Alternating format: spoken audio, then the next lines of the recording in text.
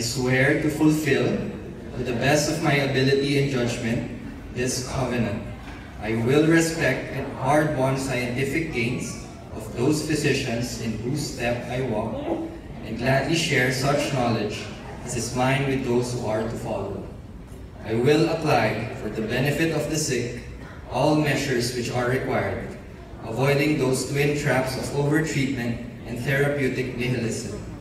I will remember that there is art to medicine as well as science, and that warmth, sympathy, and understanding may outweigh the surgeon's knife and the chemist's drug.